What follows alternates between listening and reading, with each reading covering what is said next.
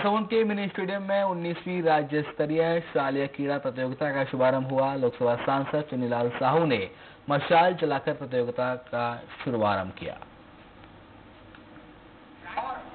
ये हमारे लिए बहुत ही लाभदायी स्कूल स्कूल में भी नंबर वंबर कम होता तो उसमें जोड़ दिए जाते हैं सर्टिफिकेट दिखाने से।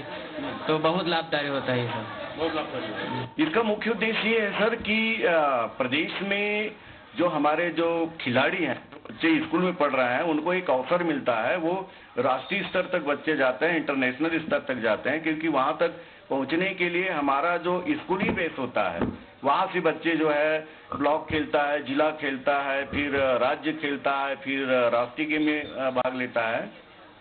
और जो बच्चे बेहतर करते हैं, जो मेहनत करते हैं, वो अंतर्राष्ट्रीय स्तर तक भी जाते हैं। तो शुरुआत ये। कोरिया ज़िले में कलेक्टर